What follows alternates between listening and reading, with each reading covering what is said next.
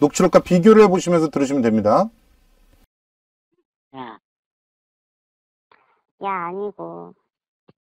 너 사람이야? 너는 사람이니? 내가 네가 뭘 인간이니? 잘못- 그러니까 내가 뭘 잘못했는데? 나는 뭘 잘못했니, 너 그러면? 바람 폈잖아. 내가 뭘 바람 폈어? 너 증거 있어?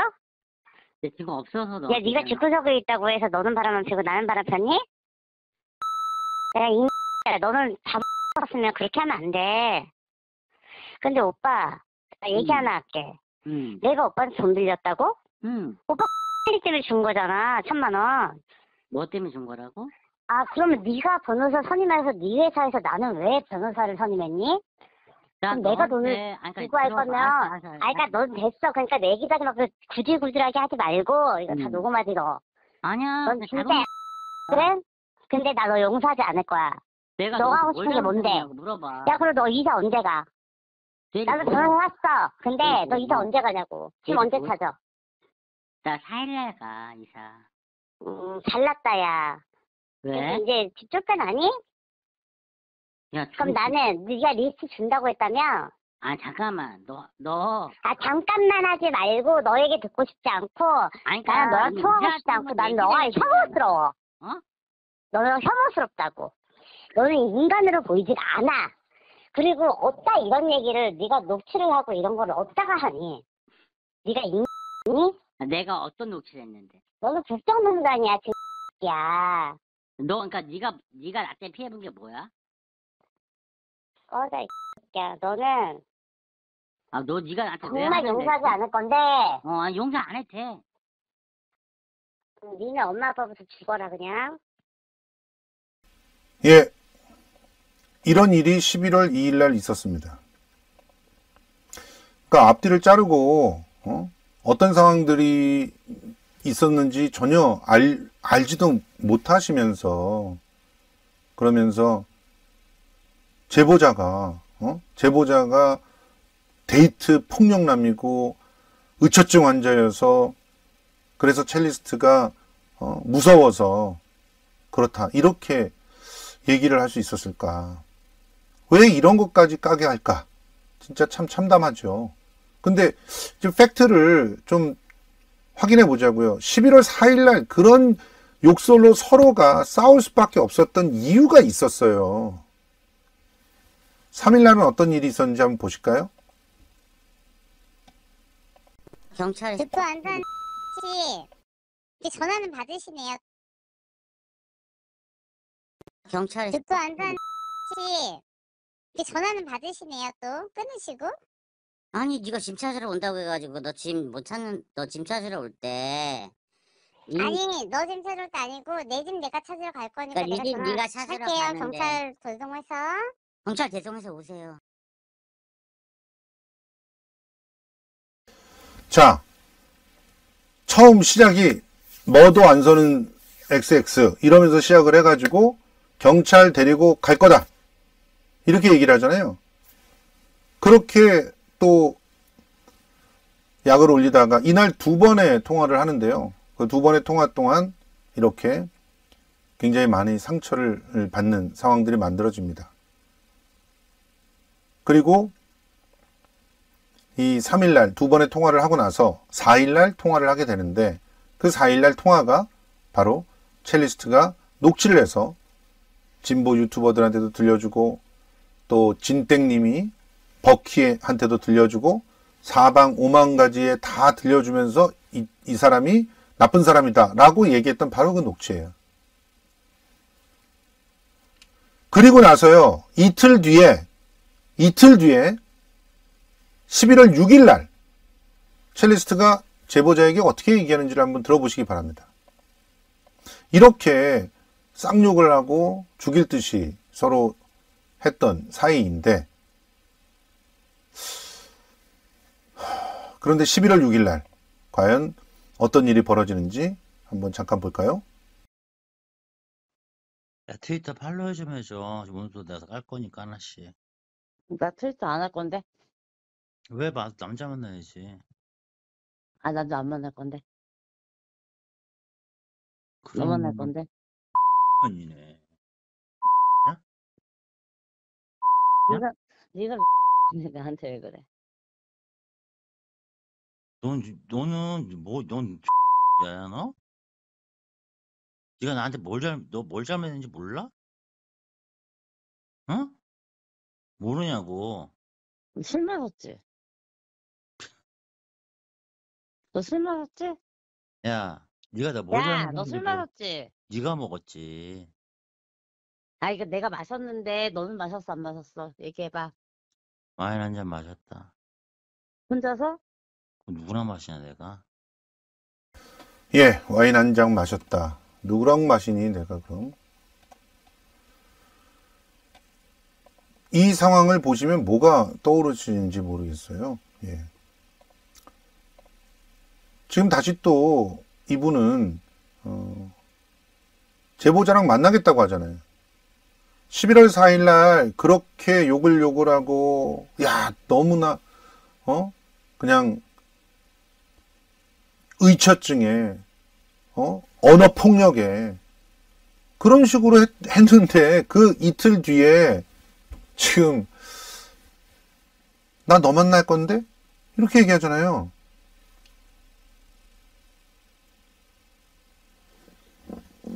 그러면 도대체 그 이런 상황을 그 제보자는 어떻게 극복해야 되는지 어, 좀 가르쳐 주시기 바랍니다. 솔직히. 이래서 어느 한쪽만 얘기를 들으면 안 되는 겁니다. 이 저널리즘에 입각해서 취재를 한다는 것을 왜 반론 보도를 다 해야 되고 반론 보도를 들으라라고 얘기를 하냐면 사실은 누군가가 거짓말을 했었을 때 그럴 때 그것을 걸러낼 수 있는 방법이 있나요? 왜 반론을 듣지 않고 보도를 한다고 하실까요? 그러면서 왜 욕설까지 이렇게 쏟아내는 그런 보도를 제가 존경하는 그분께서 하셨는지 저는 아직도 이해가 안 됩니다. 자, 이제 그분이 어떤 왜곡을 했는지를 살펴보도록 하겠습니다. 이 정도면은 둘 사이에 그러니까 감정의 골은 굉장히 깊다. 그렇기 때문에 이 감정의 골은 결과적으로 이 두 사람이 개인적으로 풀어야 될 몫이다라고 하는 것은 아셨을 겁니다. 여기에는 데이트 폭력이라든가, 음? 뭐, 그, 어떤 의처증이라든가 이런 거는 개입되지 않았다. 그건 일방의 주장일 뿐이다. 라고 하는 것을 많은 분들이 아셨을 것입니다.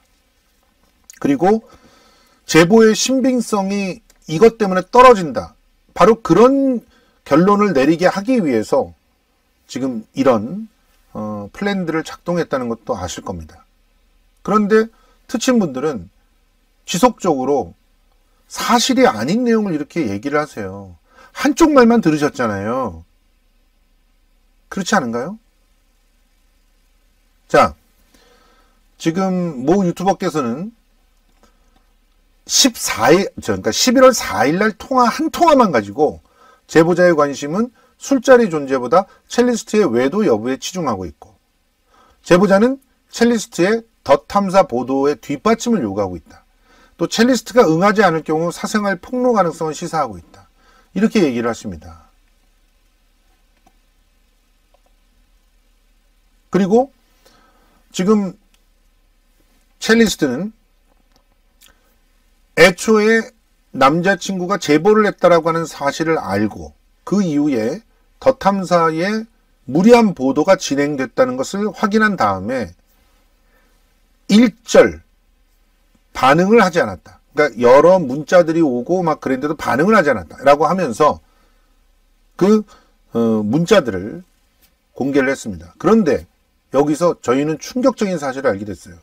문자가 선택적으로 공개되고요.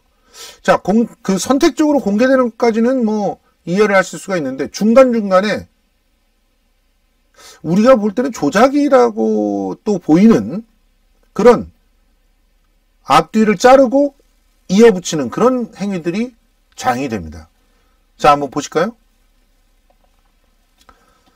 자, 21일 내일이야. 9월에도 조건 없이 진 가져가려고 했는데 이번에도 가져가려는데 읽고도 찝네. 이런 내용들 지금 붉은색으로 돼 있죠.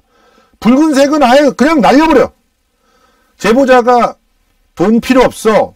짐 가져가. 나 새로운 계약이 날라가가지고 나 힘들어. 이런 얘기. 그리고 노트북 왜 안 돌려주니? 이런 얘기. 이런 얘기는 다 날려버려요.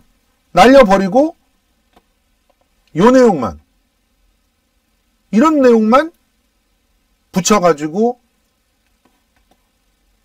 문자 내용이 심각하게 누구를 공격하는 것처럼 이렇게 가져갑니다. 자, 여기도 이 위에 붉게 처리되어 있는 부분은 김영민 어, TV에서 나오지 않아요. 이 녹색만 나옵니다. 여기도 보세요.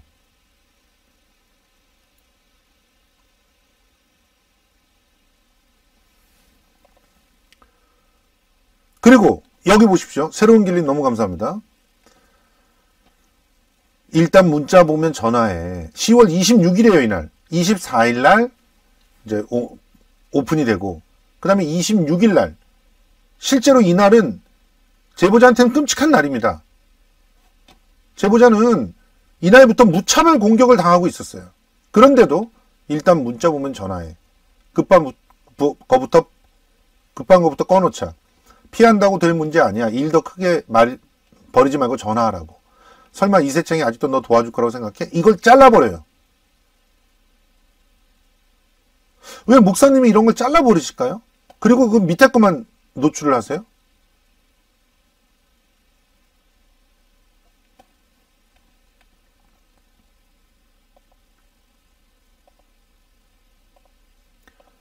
자.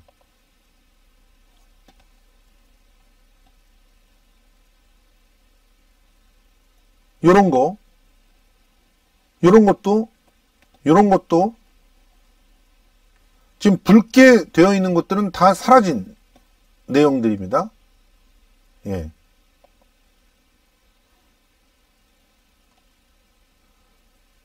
여기 붉게 있는 거 다 사라진 내용입니다. 소장 받을 장소나 보내. 그냥 꿀표표를 보낼게. 이런 것만 남겨놓고요. 어?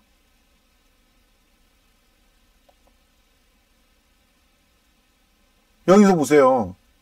너가 그때 김호중 보면서 나한테 전화한 거 기억나? 윤석열 만난 거 제보하겠다고. 너 집에서 와인 먹은 날 생각 안 나? 그 녹취도 있다.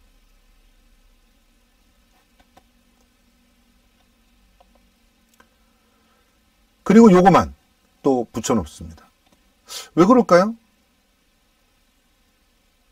그리고 여기서 초록색으로 되어 있는 것은 일부만 나오는 거죠. 일부만. 전체를 다 보여주지도 않고 요런 문자를 보이면서 여기서 일부만.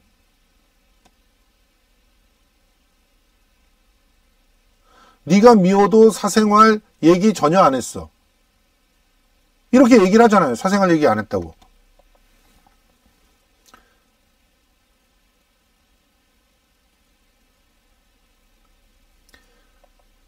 이런 상간남 소송을 해보겠다. 어? 현명한 선택을 해라. 이런 식으로 종용을 한 거. 이걸 협박이라고 얘기합니다. 이게 협박으로 보이십니까? 한번 보세요. 여러분들 읽어보십시오.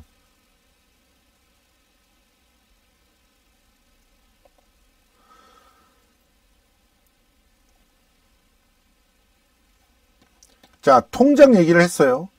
했지만 이 통장 얘기라고 하는 것도 이 통장에 그런 내용들이 있으니 수사를 하게 되면 네가 불리해진다 이런 얘기예요, 사실은. 이게 걱정하는 내용이 아닙니까? 이게 협박입니까? 빨간 것들은 다 내용을 안 하고 있어요. 그리고 이미 영웅된 뭐 이러면서 이 모두 보기를 딱 눌러보면 모두 보기 내용이 다 나와요. 여기에는.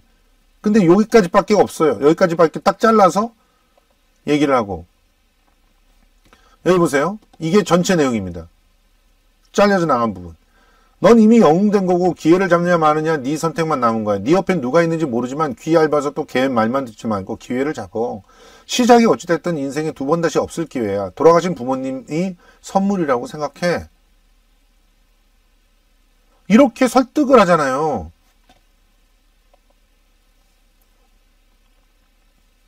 고민되고 무섭고 어찌해야 될 줄 모르면 나랑 상의해. 이런 거 잘려져 나왔습니다. 이렇게 걱정하고 보호해주겠다고 하는 내용은 다 잘려 나왔습니다.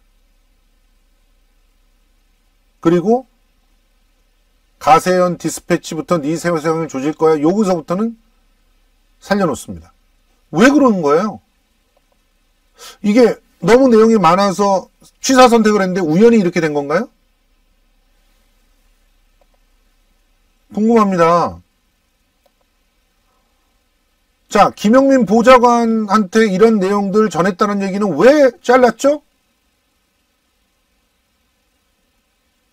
김영민 의원 보좌관이랑 연락하는 걸 알려주면은 뭐가, 어, 그걸 보는 사람들이 혹시라도 좋은 생각을 하, 하게 되니까 자르신 겁니까?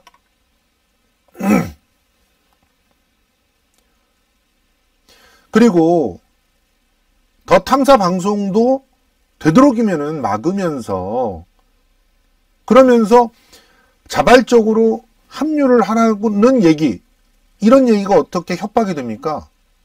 여기도 보세요.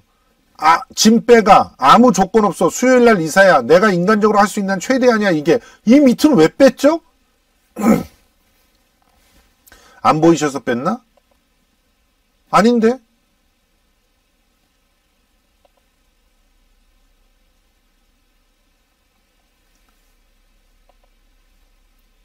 아, 이 부분은, 이 부분은 이렇게 밑에 문자가 일부만 나와서 요거를 그냥 캡처해서 보낸 것만 봤으면 밑에가 뭐 잘릴 수도 있겠네요.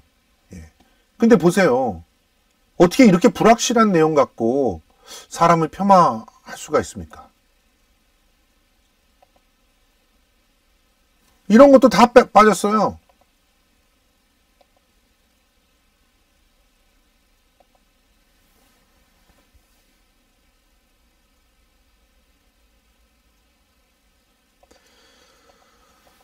자, 여, 여기 이런 거, 참, 진짜 보세요.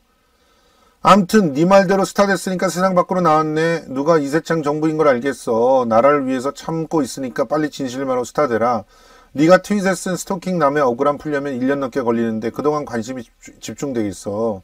일단 네가 진실 밝혀. 난 그냥 아무 말 안 하고 나중에 청구서 들이밀게. 만약 이렇게 대의를 위해 참았는데도 일주일이 넘는다면 넌 그러니까 요 밑에만 남겨놓으면 그냥 사랑과 전쟁판 위선자 개떨 때 굴럭 이러니까 공격하는 것처럼 보이죠.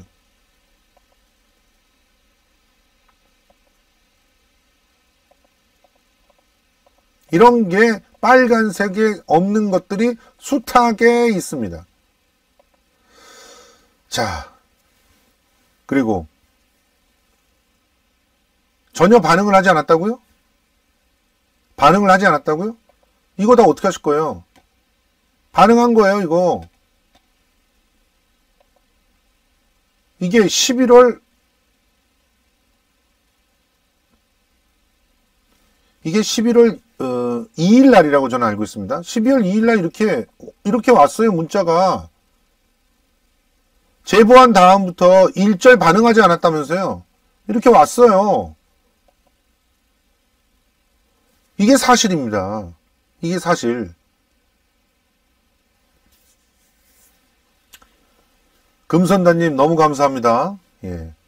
정말 우리 채팅방에 스패너가 없을 때 와서 아주 정, 어디선가 나타난 장보처럼 잘 정리해 주셔서 정말 고맙습니다. 자, 그러면 이제 강진구 기자가 얼마나 강진구 기자가 얼마나 제보자와 함께 첼리스트를 위해서 노력했는지 한번 들어보는 시간을 갖도록 하겠습니다. 강 기자도 왜 공격을 할까요? 강 기자만큼 첼리스트를 막아주고 도와주고 했던 사람이 없습니다. 그런데 도대체 무슨 이유로 강 기자의 예, 그런 선의를 무시하게 됐는지 한번 찾아보겠습니다.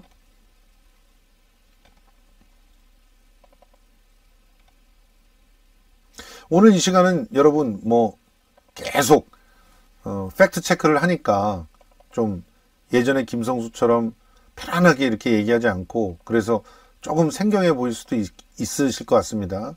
그렇지만 다음 시간서부터는 그렇게 또 재밌게 노력하도록 하겠습니다. 그런데 오늘은 조금만 참아주시길 부탁드려요. 노트북 자, 다시 마이크를 끄고 여러분 직접 들어보시도록 하겠습니다. 강 기자와 제보자 과연 어떻게 서로를 제 챙기면서 일을 하고 있을까요?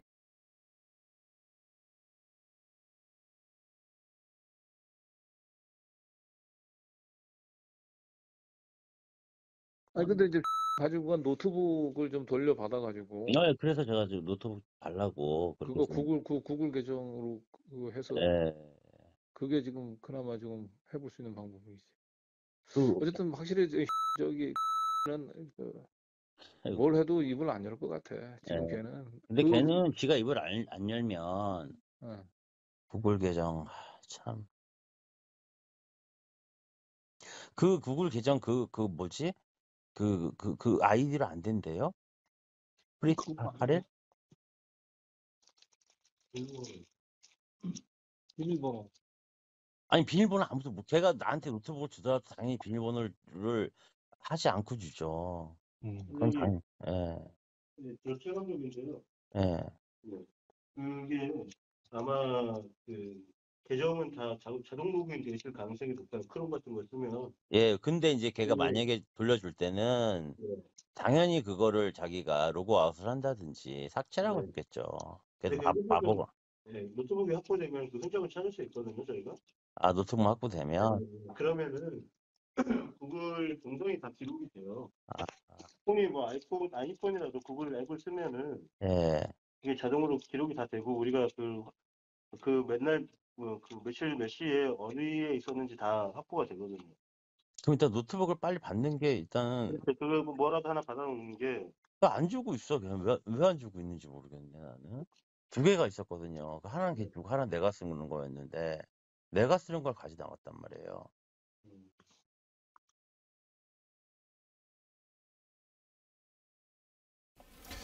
예, 여기까지 들어보도록 하겠습니다.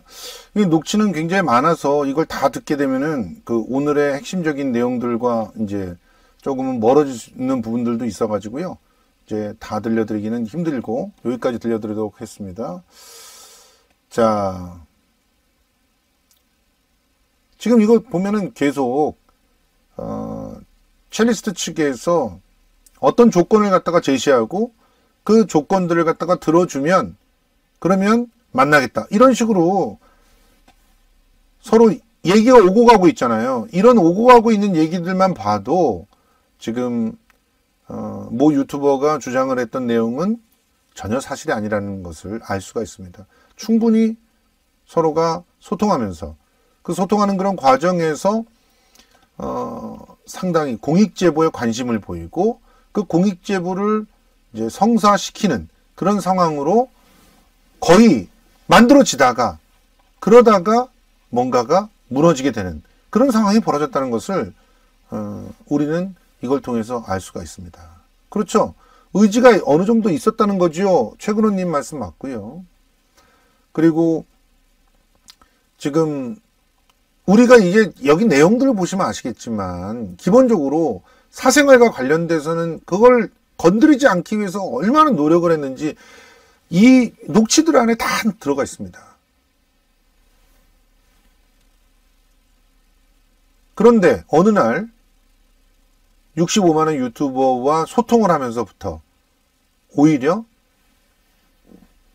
나와서 제보를 하지 않고 그리고 그리고 그 그들의 친구들은 분명히 스페이스라고 하는 공간에서 열심히 에, 의견들을 나누고 실제 그 사- 그날의 진실을 들었음에도 불구하고 그걸 덮는 그런 일로 초- 치달아 가네, 가고 있어요.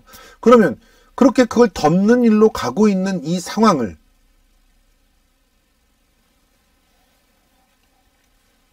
그 상황을 여러분 어떻게 우리는 봐야 되겠습니까? 자, 마지막으로 제가 이제 여러분들께 좀 보여드릴 게 좀 있는데, 음? 그,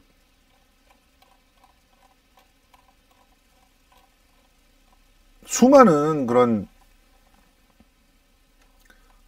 그 특친들의 그 트윗들이 계속 쏟아져 나오고 있습니다. 계속 쏟아져 나오고 있어요. 그런데 어, 그 트윗들을 이렇게 보면 아까 아 이, 이게 아까 안 보였던 건데 그 11월 3일 날 11월 3일 날 어, 그 내용이었는데 여기 들어가 있었네요. 아, 제가 이제서 찾았네요. 죄송합니다. 11월 예, 이거 예, 여러분들께 보여, 보여드릴게요.